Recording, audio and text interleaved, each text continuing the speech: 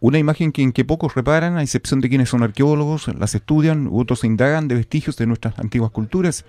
Si bien en la región se encuentran diseminadas por miles de varias formas, para la generalidad pasan desapercibidas y más aún al verlas, algunos, los menos, han optado por romperlas y sin saber para qué sirven, las llevan como trofeos a sus hogares. Ya el doctor Renato Aguirre, en su fructífera labor como investigador, ha advertido de su destrucción. Otros, como Luis Riones y José Barraza, han enseñado de su presencia e importancia para su preservación. En este último tiempo, el prestigioso investigador peruano Carlos Milla Villena ha dado luces de sus funciones, y una de ellas es que fueron espejos de agua o astronómicos usadas por las antiguas culturas y aquellas que fueron influidas por los incas, que permitieron medir la ubicación de los astros para programar sus actividades agrícolas. Algo importante que nosotros deberíamos cuidar de este elemento, que en este instante, mire, está al descubierto, esto debería estar en un museo. Deberían, claro. y el hecho de descubrir esto, por ejemplo, ¿qué, impacto le causa a usted, sobre todo que se usaba para...?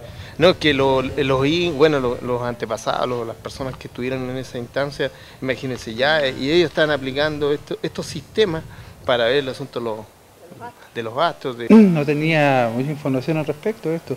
Eh, lo, lo que tú me comentas sobre realización de la medición y todo lo que se, se realizaba con respecto a estas piedras tacitas, eh, lo desconocía. Pero es importantísimo este hallazgo, que tú tenías antecedentes de esto, pero que lo hayas encontrado en esta, eh, y, es una cosa insólita así de, de suerte, eh, sería como para preservarlo, llevarlo a algún lugar y donde se pudiera mantener y sacarle mayor información, ¿no?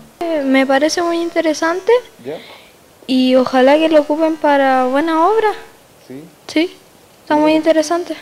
Según el investigador peruano Carlos Milla Villena, en América hay miles de este tipo de piedras, algunas diseminadas, otras formando parte de complejos sistemas de observación astronómica, la que fue practicada por los incas, mayas y aztecas. Milla ha manifestado que la diferencia con la astronomía matemática es que estos vestigios apuntaban a una astronomía de sitio, por lo que es motivo de estudios de una ciencia que en Chile está recién irrumpiendo, como es la arqueoastronomía.